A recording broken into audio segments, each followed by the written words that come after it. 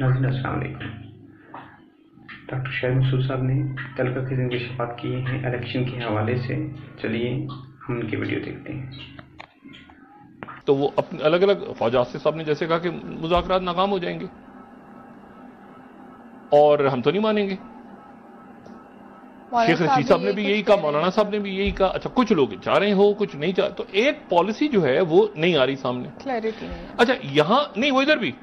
देखें ये तो मैंने आपसे कहा ना कि गिलानी साहब इसमें इसमें शाह महमूद कुरैशी हम्म। इसमें फवाद चौधरी साहब अली इनकी टीम बिल्कुल वो है। यानी आप समझ लेना कि इसमें फवाद चौधरी साहब बात बात करने में थोड़े से लगते हैं कि वो लेकिन वो अंदर बैठ के आराम से सुकून से पोलिटिकल मफाहमत की मामला आगे चले। लेकिन मसला ये है कि वो उसमें वो इमरान खान साहब के लोग जो हैं वो ये कह रहे हैं उनके कारकुन और बहुत सारे लोग हम्म। उनके। वो कह रहे हैं कि आपको पता है ना कि नहीं हो रहे चौदह तारीख को। जो आज एतजाज एहसन साहब ने भी कह दिया। कि चौदह तारीख को तो इलेक्शन कमीशन पेपर ही नहीं छाप रहा। तो अब आप ये कौन से ट्रक की बत्ती है जिसके पीछे आपने लग गए? और उस चक्कर में आपने टिकट भी इशू कर दिए लड़ाई भी हो गई नाराजगियाँ भी हो गई कभी कोई टेप आ जाती है किसी की कभी कोई ऑडियो टिकट बिके हैं। फलाना इमरान खान साहब का रौला पड़ा हुआ है वहाँ जमान ये क्या हुआ है? तो अब वो इमरान खान साहब ये जो है ये कह रहे हैं एक मिनट ठहरो। अब तो आए उन पहाड़ के अब हम उसको क्यों बुलाएँगे अंदर? अच्छा असेंबली में क्यों बुलाएँगे? असेंबली बुलाएँगे तो अब तो देखो वो हम सितंबर चाहें या अक्टूबर चाहें फला। मगर मसला ये बीच में बजट आ गया हम्म। बजट बन नहीं रहा। बजट बन नहीं रहा। ये बड़ी खौफनाक चीज़ है कि बजट की तैयारी होती है ना एक वजह बजट ही नहीं बन रहा। मतलब आप कोई देखते हैं ना कि अगले साल कहाँ पर एक महीना बीच में दरमियान में। और उसके बाद जो महँगाई का तूफ़ान और सारे मामला।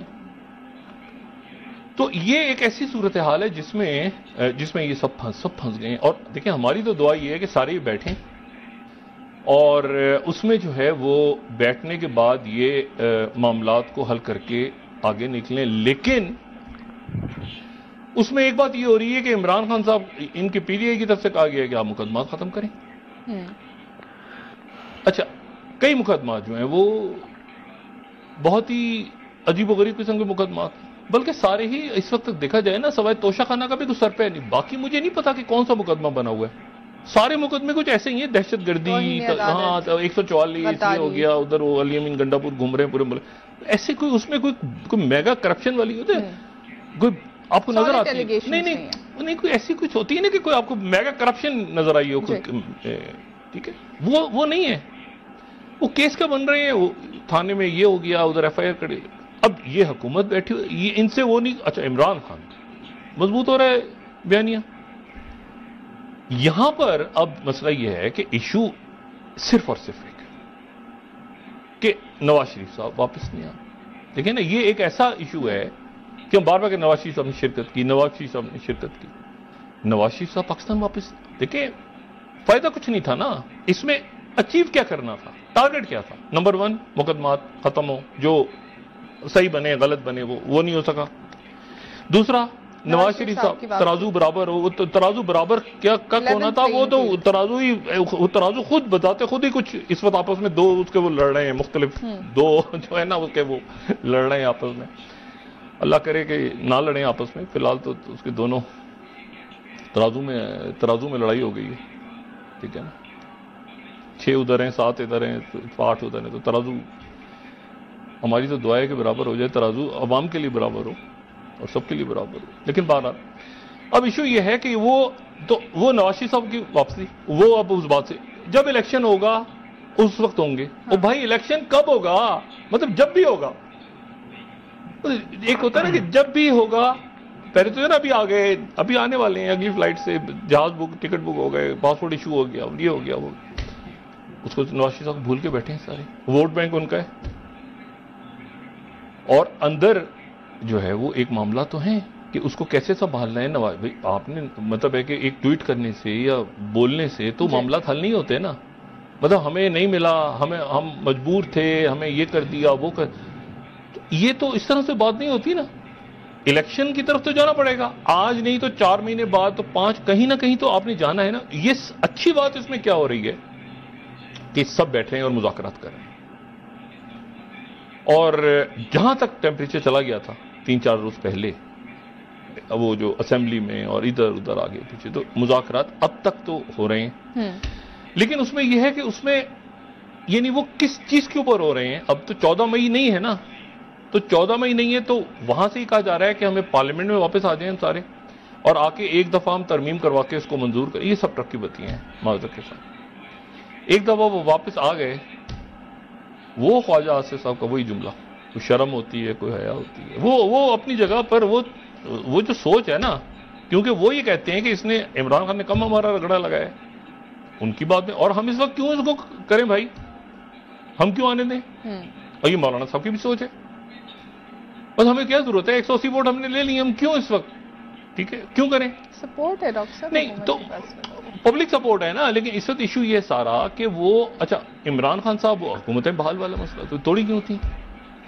और वो वो तो फिर अगर की बात होगी ना अगर अदालत ने फिर अदालत में मामला जाएँगे फिर उसमें वफाकी हुकूमत क्या कहेगी फिर उधर से वो लेना देना अच्छा वो कहेंगे अच्छा जी ये आप जाली मुकदमात खत्म करवाएँ उधर से वो कहेंगे अच्छा देखें हमसे मुकदमा खत्म करवा रहे हैं ये एनआरओ मांग रहे हैं। हालाँकि मतलब एक अजीब सी एक अजीब सी जो है ना वो एक यानी आप समझे कि फंस गए सारे। जो ग्रिड लॉक में फंसे हुए हैं। और उसमें हर गुजरते दिन के साथ एक तो आईएमएफ का नहीं सर पैर पता चल रहा है। सिक्योरिटी का इशू है। आज सुबह आर्मी चीफ की जो स्पीच थी जी। वो उन्होंने स्पीच की क्योंकि वो ज़ाहिर है कि एक टर्मोइल है मुल्क के अंदर। और टर्मोइल में उस टर्मोइल में सब लोग देख रहे हैं कि एक अदारा पीछे हो गया है दूसरा अदारा जो है अदालत भी वो पीछे हो गई है। वो सिर्फ़ वो प्रोसीजर बिल के ऊपर वो करेंगे क्योंकि वो अदालत के ऊपर एक उनका सू मोटो उन्होंने कैसे लेना है और क्या? उसके ऊपर एक बेंच बनाया जो कि दो तारीख को इस बात होगी। तो ये चल नहीं पा रहा। इसे कैसे अब निकलना है उसके लिए आ, ये बैठे हैं सारे।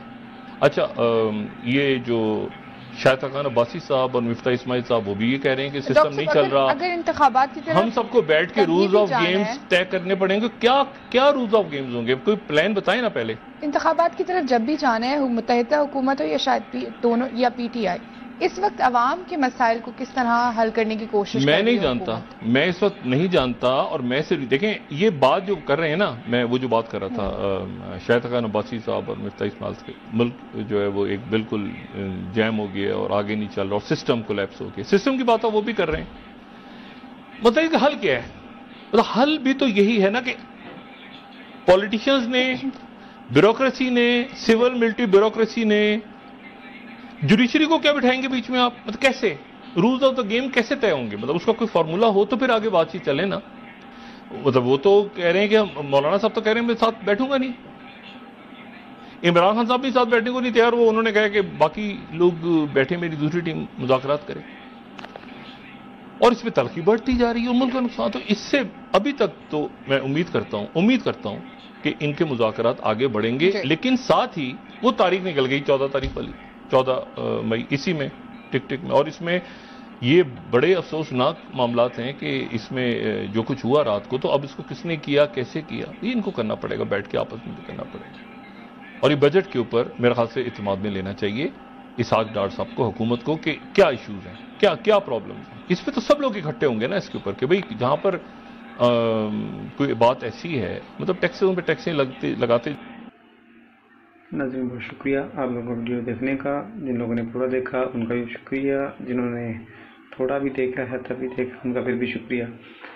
डॉक्टर शाहिद मसूद साहब ने क्लियरली बताया है कि चौदह मई को इलेक्शंस अब पॉसिबल नहीं रहे, क्योंकि इलेक्शन कमीशन ने भी अपनी रिपोर्ट जमा करवाई है सुप्रीम कोर्ट में, और अनकरीब हो सकता है सुप्रीम कोर्ट इसके ऊपर समाप्त करे, और फिर नोटिस जारी भी हो सकते हैं तमाम जमातों को, और ख़ास तौर पे वजारत ख़जाना वजारत दिफा को उनसे पूछा जाएगा, क्या किया जाए, क्यों नहीं आप लोगों ने 21 अरब रुपए मुहैया किए? तो तोहिन अदालत का सामना भी करना पड़ सकता है। अगर कंसेंसस हो जाता है, तमाम पार्टीज़ का, सियासी पार्टीज़ का और वो अपना बयान हल्फी जमा करवा देते हैं तो कुछ हो सकता है बच बचा अदरवाइज़ तोहिन अदालत का सामना इनको करना पड़ेगा। तो नाजरीन, ऐसे ही तमाम लेटेस्ट एनालिसिस आप देखते रहें। इन मज़ीद आपके सामने हाजिर होंगे। तब तक के लिए इजाज़त दीजिए। अल्लाह हाफिज़।